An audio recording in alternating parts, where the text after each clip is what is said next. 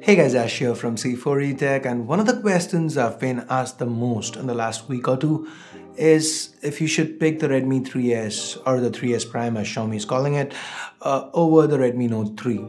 So in this video, let's break it down and let's get started.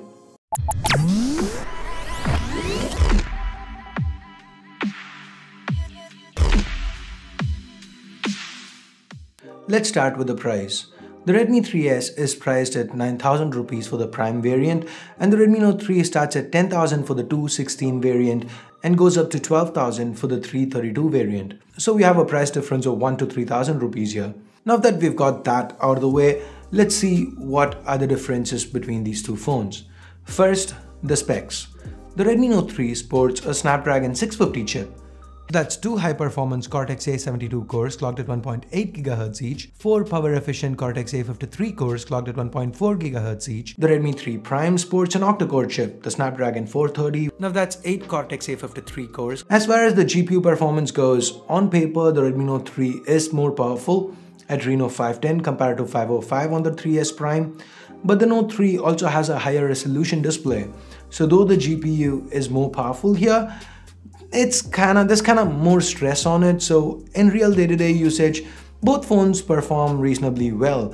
With the popular games there were no issues with just the occasional hiccup with the most intensive of titles. And so well yes the redmi note 3 is the better spec phone in reality with day-to-day -day usage you're not going to notice a lot of difference between both. Like I mentioned, the Redmi Note 3 sports a higher resolution display, Full HD spread across 5.5 inches, meaning a pixel density of 400 pixels per inch.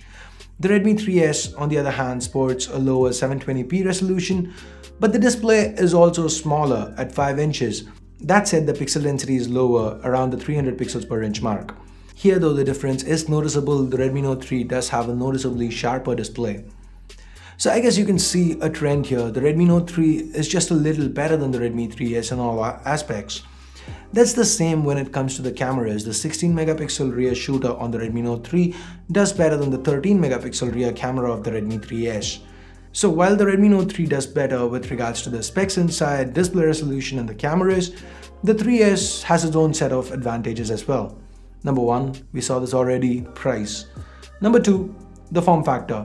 Now if you're someone like me who likes single-handed usage, then the Redmi 3S is definitely gonna serve you well. As much as I like the Redmi Note 3, that's not a phone you can use single-handed at all times. And number 3, the battery life. Here's the kicker. Despite being smaller, slimmer, and lighter than the Redmi Note 3, the Redmi 3S packs in a marginally larger capacity battery, 4100 mAh compared to 4000 mAh on the Redmi Note 3. The battery life on the Redmi Note 3 is very good, but it's a little better with the Redmi 3S. Again, in real day-to-day -day usage, the difference might be as little as an extra hour or two of usage. So the Redmi 3S has an edge, a slight one, but an edge nonetheless with regards to battery. Now given that Xiaomi provides a consistent software experience across models and taking into account the fact that the build and design are extremely similar and other miscellaneous stuff like the speaker output, call quality and cellular reception are again almost identical, the six areas that we've seen so far are where there are the most differences between these two phones. So, what's the better phone for you? Well, when you look at it, in reality, the cameras, the performance, the battery, or the price, these are still quite comparable. I know both phones have their own sets of pros and cons here. In my honest opinion, it all comes down to the display size. What's your choice?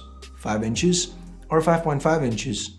Do you want a compact phone for general use or maybe as a secondary device that you'd prefer to use single-handed? Or do you want a bigger phone with a larger display for better media consumption? Ask yourself that. Whatever your answer is, well, that's the phone I recommend you pick up. So that's it for this video. Was it helpful? If you think it was, give this video a thumbs up. If it wasn't, well, you know what to do. And for more content like this, hit that subscribe button down below if you haven't already. If you do wanna pick either of these phones up. I'll leave direct links in the description below. Use them, it helps the channel out. So thanks a lot for watching. Till next time, this is Ashia from C4 E Tech signing off. You guys have a great day. Bye bye now.